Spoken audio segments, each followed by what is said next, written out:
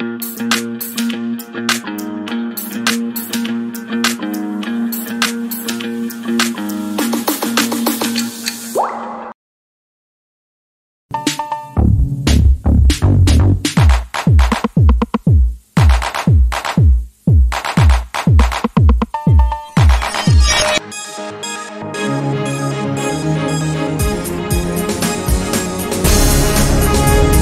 Well, finally and finally, there is some kind of relief in the NUP camp after Bobi Wine's bodyguard Jamshid Kavuma confirmed alive.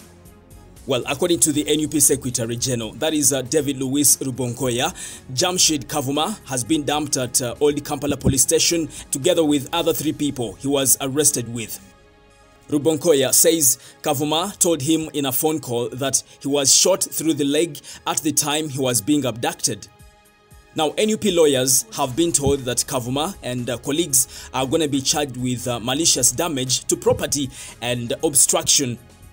Jamshid Kavuma has been in detention for a month and uh, you must have seen some people, you know, demanding for him on social media. But uh, we thank God he's alive because many NUP bloggers were saying that he was killed, but it's now confirmed he's alive. But also, how do you charge someone who has been in Communicado for a month? I thought that person should be left free because, you know, our constitution talks about only 48 hours. But anyway, that is the latest update coming from His Excellency Bobi Wine's camp. And uh, many people in Bobi Wine's camp must be very happy right now. And also the family of Jamshid must be very happy right now.